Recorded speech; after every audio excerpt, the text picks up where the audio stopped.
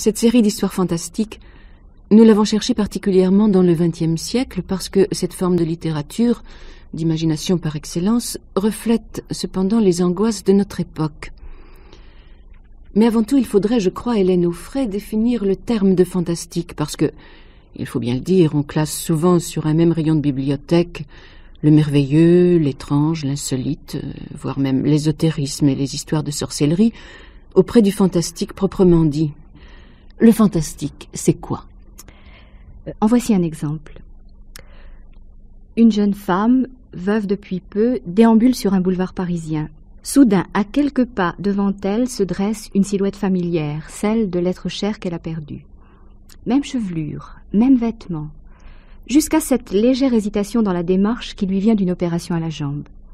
Le choc est si violent que la jeune femme, tout à coup foudroyée par la certitude, crie le prénom de l'être cher. Et l'homme se retourne. Il est définitivement étranger. La rencontre d'un être qu'on sait mort est une impossibilité irréductible, un scandale inadmissible pour la raison. L'instant fantastique est ce moment où la cohérence de notre monde réel a été confrontée avec l'incohérence de la perception surnaturelle. Cet instant est bref, car le fantastique se dissout presque immédiatement. La fin de l'histoire montre d'ailleurs que la perception fantastique était simplement une perception aberrante. Mais si l'histoire s'était terminée par le retour du mort, il eût fallu conclure à l'existence d'un autre monde, un monde surnaturel. Vous êtes proche, là, il me semble, de la définition de Todorov, qui dit à peu près euh, le fantastique, c'est l'hésitation éprouvée par un être qui ne connaît que les lois naturelles face à un événement en apparence surnaturel. Je pense qu'elle n'est qu'apparemment satisfaisante. Car si le fantastique ne résidait que dans ce bref instant d'hésitation, peu d'œuvres seraient fantastiques. Et surtout, ce qui est plus grave, elle ne le serait pas longtemps. L'hésitation disparue, les récits fantastiques ne seraient plus que des histoires étranges ou des contes merveilleux. Il serait bon peut-être de prendre un exemple littéraire. Un texte de Robert Hitchens, écrit dans les premières années de notre siècle et intitulé Comment l'amour s'imposa au professeur Gaeldi. L'histoire présente deux amis. Le professeur Gaeldi, qui a banni de sa vie toute affectivité, toute sexualité, et qui est l'exemple même de l'universitaire sec et positif. Son ami, le père Murchison est un dignitaire de l'Église anglicane et c'est un être qui, au contraire du professeur Galdi, est toute charité, toute piété. Un soir d'été, le professeur Galdi prend le frais dans son jardin, dont les grilles ouvrent sur Hyde Park, et il aperçoit sur un banc du parc une forme immobile, curieusement ramassée, qui l'intrigue. Il se précipite donc pour découvrir l'identité de cette intruse, mais lorsqu'il parvient au banc, il n'y a plus personne.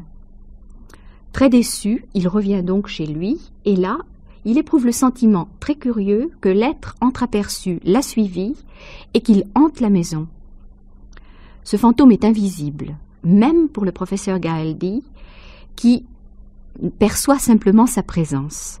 Et cette présence se fait de plus en plus envahissante. Elle détruit petit à petit l'intimité du professeur Gaeldi. Cet être innommable, qu'on n'aperçoit pas, est une demeurée mentale qui accable le professeur de ses protestations d'amour, de ses caresses obscènes, du contact effroyable et répugnant de son corps anormal. Car si Gaeldi ne voit pas l'intruse, il l'entend et perçoit son contact.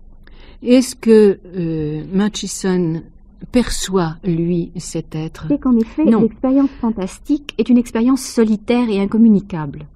Et Murchison est d'abord persuadé que son ami est victime d'une névrose. Mais convié par le professeur Gaeldi à une vérification de ses dires, Murchison découvre des faits surprenants. Le professeur Gaeldi possède depuis longtemps un perroquet. Or, le perroquet paraît apercevoir la présence d'un être humain invisible. L'oiseau se livre à toute une mimique le long des barreaux de la cage, comme si il offrait ses plumes à la caresse de doigts invisibles. De plus, l'oiseau imitateur reproduit en les modulant les sons désagréables, les vibrations aiguës d'une voix féminine, en somme le roucoulement stupide d'une idiote. Témoin de cette scène, le père Murchison est bouleversé. Pris d'une haine farouche contre cette intruse qui ne lui laisse aucun instant de répit, le professeur Gaildi est victime d'un délire de la persécution et il finit par mourir d'une crise cardiaque. Le jour de la mort de Gaildi, le père Murchison, qui sort un instant dans le jardin de Gaildi, aperçoit sur le même banc d'Hyde Park la même étrange forme ramassée sur elle-même. L'histoire est donc ramenée à son point de départ. Le récit comme tel est donc inexplicable. Il peut apparaître comme la punition ou comme l'autopunition d'un intellectuel, qui pour trop avoir fait l'ange fait la bête. L'hallucination du professeur Galdi peut être due à un désordre physiologique. Le perroquet pourrait singer Gaeldi, en période de crise de dédoublement de la personnalité, par exemple, et non pas singer l'idiote. Murchison est très tenté de le croire. Il y voit même, en homme religieux qu'il est, la manifestation d'un châtiment divin qui punit Gaeldi d'avoir, en refusant d'assumer son affectivité et sa sexualité, bouleversé l'ordre du monde. Mais cette explication est très insuffisante, parce que comment pouvons-nous alors justifier ce que voit le père Murchison à la fin de la nouvelle? Y a-t-il contagion de l'hallucination ou véritable phénomène de hantise? C'est précisément ce qu'il est impossible de déterminer. Le fantastique ne réside pas dans l'hésitation entre deux possibilités, mais dans la coexistence de faits contradictoires et conjointement nécessaires. Aucune hypothèse examinée séparément n'étant satisfaisante, il n'y a pas de choix. C'est en ce sens que la fiction fantastique est un discours contestataire et subversif. Le fantastique est-il nécessairement la coexistence d'une série naturelle et d'une série surnaturelle? Je ne le crois pas. Il faut en effet préciser ce point. Ce qui différencie le récit réaliste du récit merveilleux, par exemple, c'est que le premier est éthique, pour reprendre une terminologie de Sartre dans l'imaginaire, c'est-à-dire qu'il pose la réalité de ce qu'il représente. Alors que le merveilleux est non éthique, il ne pose pas la réalité de ce qu'il représente. Au contraire, lorsqu'on entend prononcer la formule Il était une fois, on sait qu'on entre dans le monde de l'irréel. Mais le merveilleux n'est pas l'équivalent du surnaturel. Le surnaturel, quand il est article de foi, se donne pour thétique, pose la réalité de ce qu'il représente. Les récits bibliques sont surnaturels, ils ne sont pas merveilleux pour des croyants. Mhm. Il est donc inexact d'identifier le merveilleux et le surnaturel. Le fantastique qui n'est pas l'hésitation entre deux séries, l'une naturelle, l'autre surnaturelle, est la convergence de deux séries contradictoires. Donc le projet esthétique du fantastique est d'inquiéter, ou du moins de troubler par une impossibilité d'apporter une explication, de choisir entre deux explications.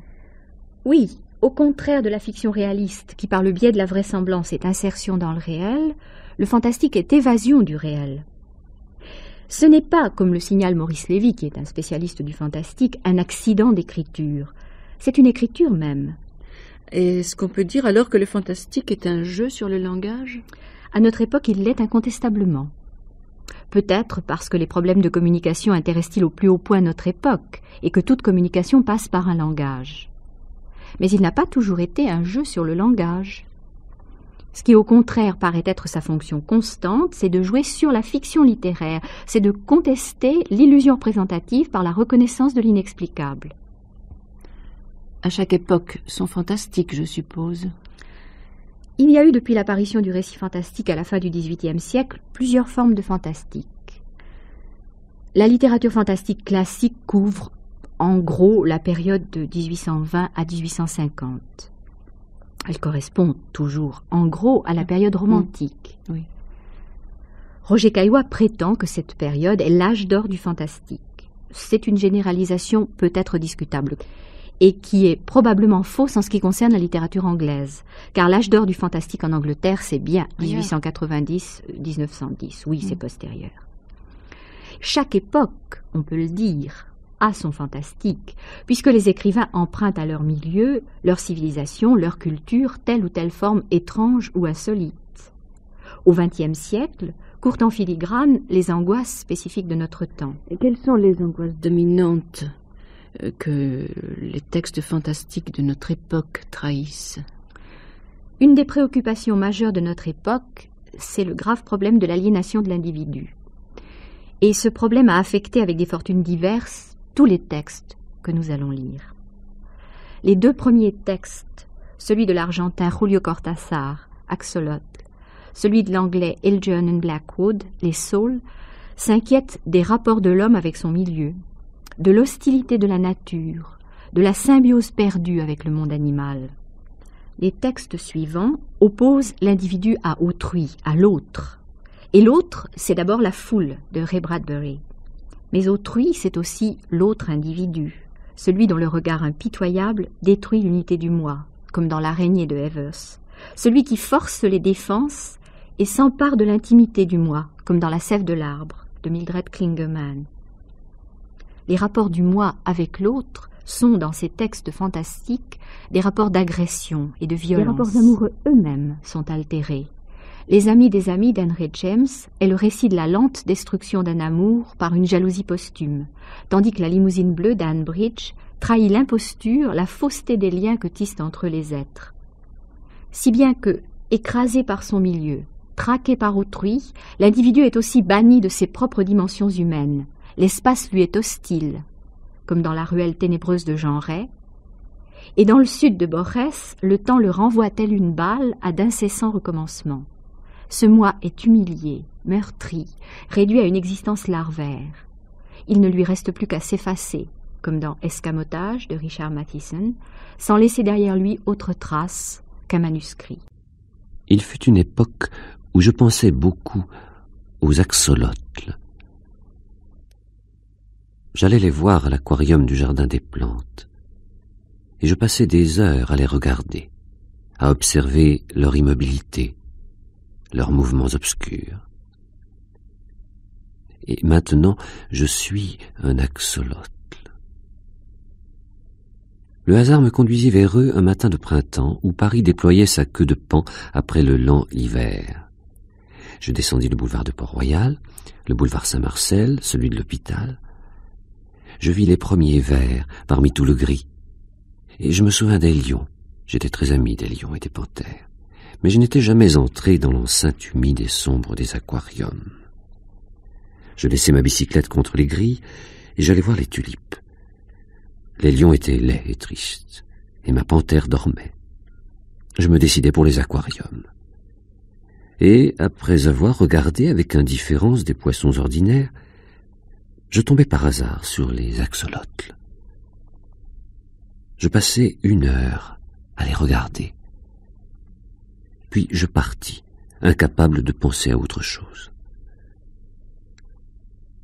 À la bibliothèque Sainte-Geneviève, je consultai un dictionnaire et j'appris que les axolotls étaient les formes larvaires pourvues de branchies de batraciens du genre Amblystone. Qu'ils étaient originaires du Mexique, je le savais déjà, rien qu'à voir leur petit visage aztèque. Je lus qu'on en avait trouvé des spécimens en Afrique capables de vivre hors de l'eau pendant les périodes de sécheresse et qui reprenaient leur vie normale à la saison des pluies. On donnait leur nom espagnol, arrolote. On signalait qu'ils étaient comestibles et qu'on utilisait leur huile, on ne l'utilise plus, comme l'huile de foie de morue. Je ne voulus pas consulter d'ouvrage spécialisé, mais je revins le jour suivant au jardin des plantes. Je pris l'habitude d'y aller tous les matins, et parfois même matin et soir. Le gardien des aquariums souriait d'un air perplexe en prenant mon ticket. Je m'appuyais contre la barre de fer qui borde les aquariums, et je regardais les axolotls. Il n'y avait rien d'étrange à cela. Dès le premier instant, j'avais senti que quelque chose me liait à eux, quelque chose d'infiniment lointain et oublié qui cependant nous unissait encore. Il m'avait suffi de m'arrêter un matin devant cet aquarium où des bulles couraient dans l'eau. Les axolotls s'entassaient sur les trois et misérables. Personne mieux que moi ne sait à quel point il était étroit et misérable. Fond de pierre et de mousse. Il y en avait neuf. La plupart d'entre eux appuyaient leur tête contre la vitre et regardaient de leurs yeux d'or ceux qui s'approchaient troublé, presque honteux. Je trouvais qu'il y avait de l'impudeur à se pencher sur ces formes silencieuses et immobiles entassées au fond de l'aquarium. Mentalement, j'en isolais un, un peu à l'écart, sur la droite, pour mieux l'étudier. Je vis un petit corps rose, translucide. Je pensais aux statuettes chinoises envers laiteux semblable à un petit lézard de quinze centimètres, terminée par une queue de poisson d'une extraordinaire délicatesse. C'est la partie la plus sensible de notre corps. Sur son dos, une nageoire transparente se rattachait à la queue. Mais ce furent les pattes qui me fascinèrent, des pattes d'une incroyable finesse, terminées par de tout petits doigts, avec des ongles absolument humains, sans pourtant avoir la forme de la main humaine. Mais comment aurais-je pu ignorer qu'ils étaient humains? C'est alors que je découvris leurs yeux, leur visage. Un visage inexpressif, sans autre trait que les yeux.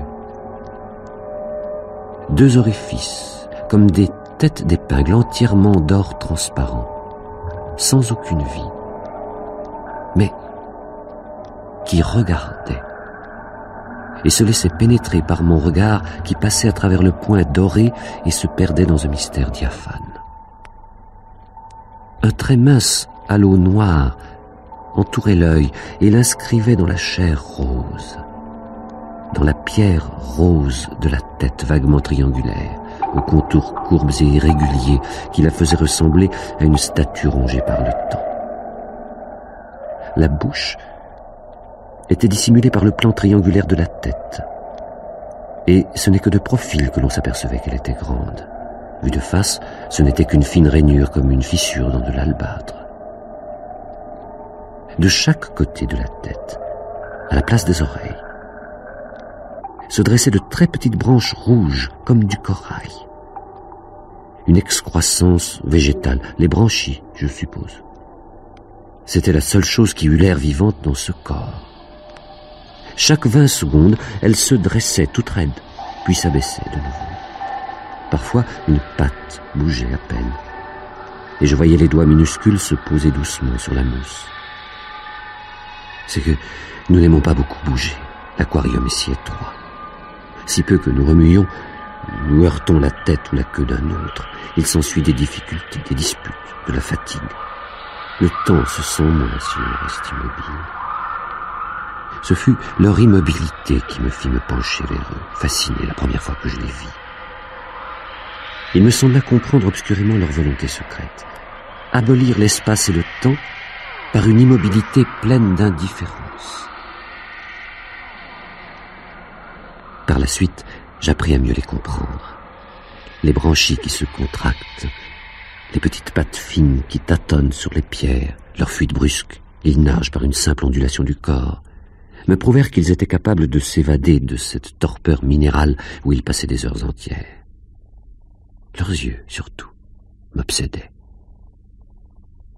À côté d'eux, dans les autres aquariums, des poissons me montraient la stupide simplicité de leurs beaux yeux, semblables aux nôtres. Les yeux des axolotls me parlaient de la présence d'une vie différente, d'une autre façon de regarder. Je collais mon visage à la vitre, le gardien inquiet toussait de temps en temps, pour mieux voir les tout petits points dorés, cette ouverture sur le monde infiniment lent et éloigné des bêtes roses.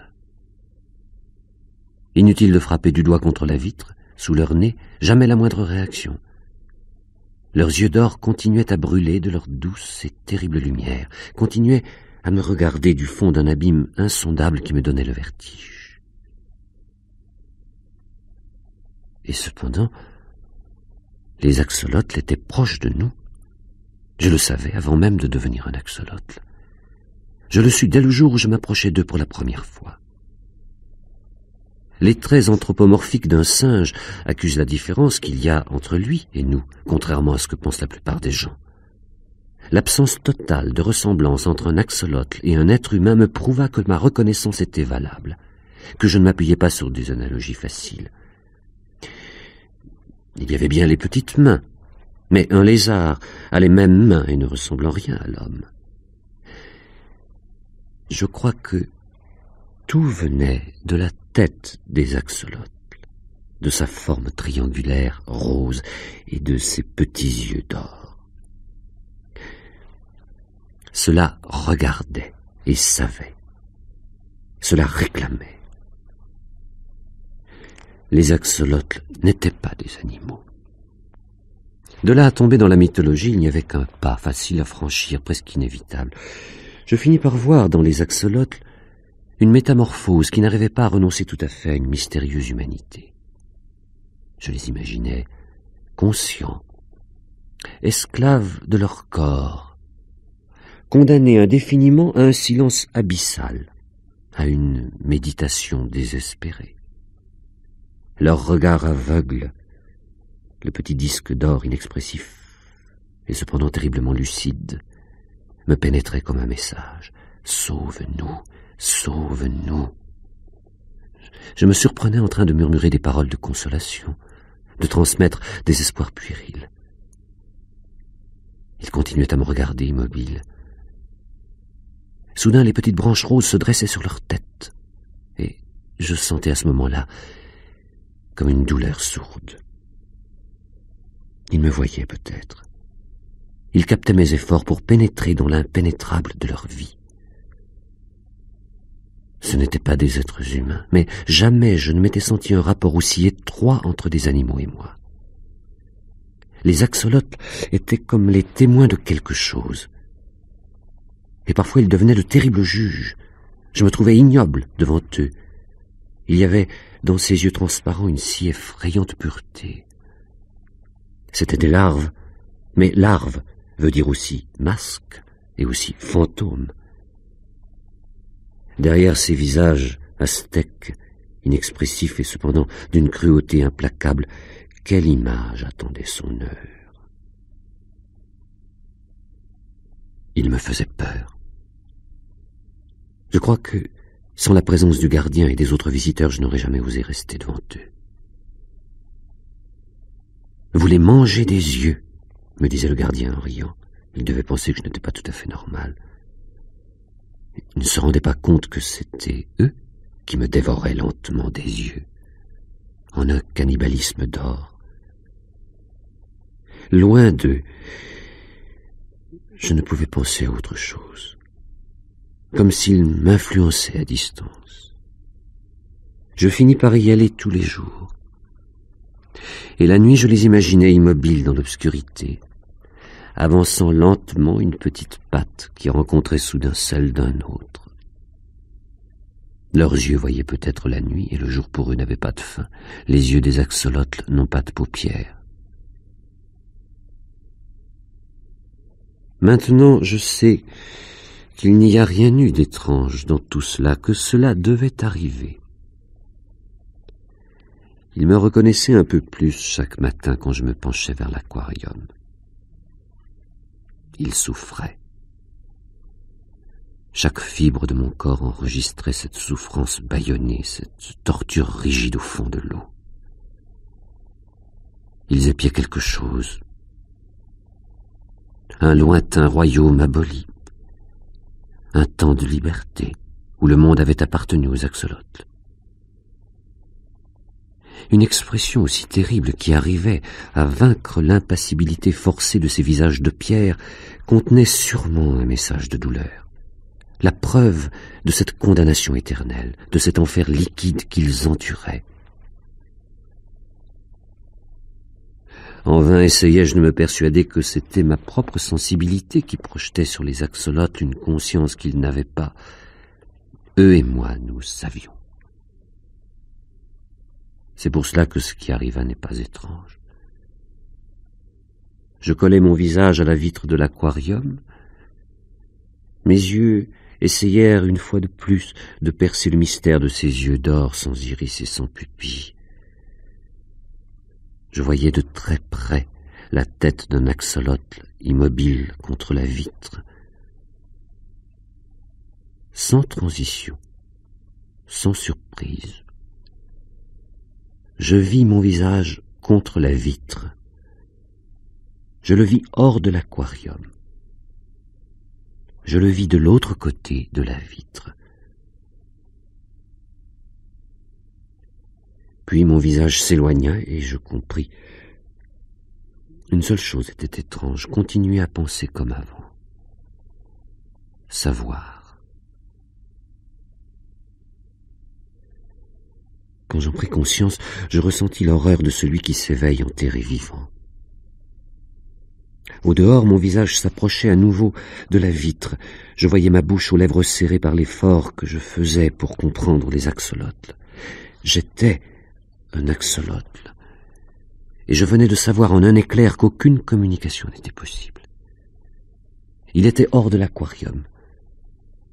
Sa pensée était une pensée hors de l'aquarium. Tout en le connaissant, tout en étant lui-même, j'étais un axolotl et j'étais dans mon monde. L'horreur venait de ce que je le suis instantanément. Je me croyais prisonnier dans le corps d'un axolotl, transféré en lui avec ma pensée d'homme, enterré vivant dans un axolotl, condamné à me mouvoir en toute lucidité parmi des créatures insensibles. Mais cette impression ne dura pas, une patte vint effleurer mon visage, et en me tournant un peu, je vis un axolotl à côté de moi qui me regardait, et je compris que lui aussi savait, sans communication possible, mais si clairement. Ou bien j'étais encore en l'homme, ou bien nous pensions comme des êtres humains, incapables de nous exprimer, limités à l'éclat doré de nos yeux qui regardaient ce visage d'homme collé à la vitre.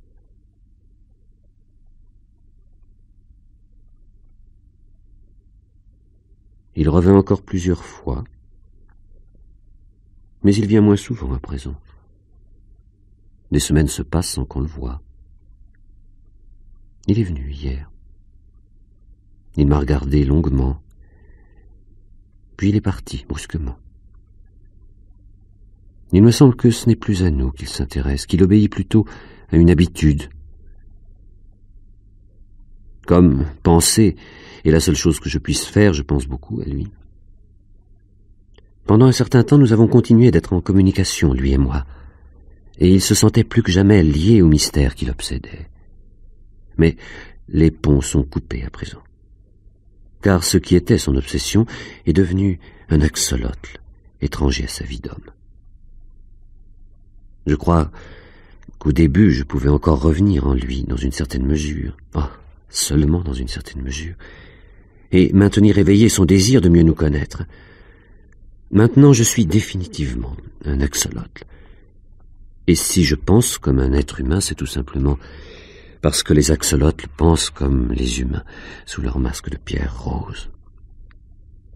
Il me semble que j'étais arrivé à lui communiquer cette vérité les premiers jours lorsque j'étais encore en lui. Et dans cette solitude finale vers laquelle il ne revient déjà plus. Cela me console de penser qu'il va peut-être écrire quelque chose sur nous.